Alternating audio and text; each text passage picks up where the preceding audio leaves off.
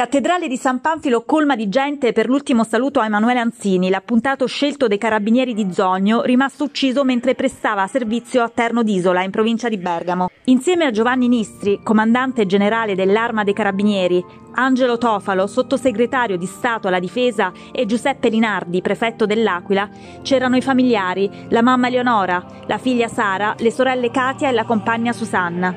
Sulmona ha abbracciato il suo eroe, Oggi è stato il giorno dello strazio e del dolore. Tante lacrime e silenzio nella basilica dove il vescovo Michele Fusco ha officiato il rito funebre davanti ad una folla di fedeli commossi. Lele, noi lo chiamavamo così, era un ragazzo per bene, chiamava la montagna, camminava per mantenersi in forma.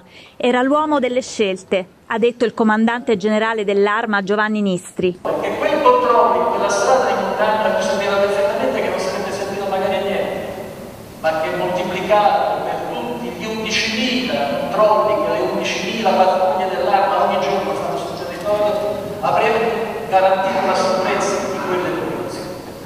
E facendo questo ha trovato il suo destino. Questo è Emanuele.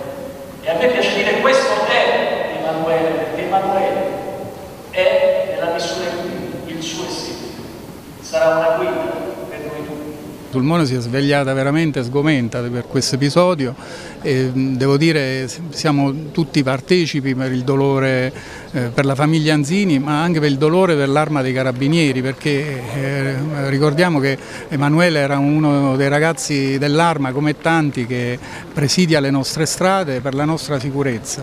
Era anche una splendida persona perché si occupava di volontariato, quindi faceva il volontario alla Croce Rossa ed era un bravo padre, quindi una, una persona, un bravo carabiniere e generosa persona.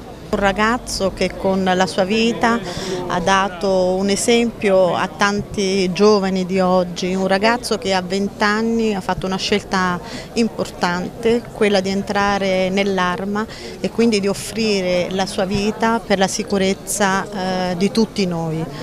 Un esempio senz'altro da seguire, eh, con grande dolore oggi l'abbiamo salutato e il pensiero non può non andare alla sua famiglia, alla sua ragazza Sara, che veramente abbraccio da parte di tutti e alla quale auguro davvero ogni bene perché il suo papà eh, dall'alto del cielo sicuramente veglierà su di lei.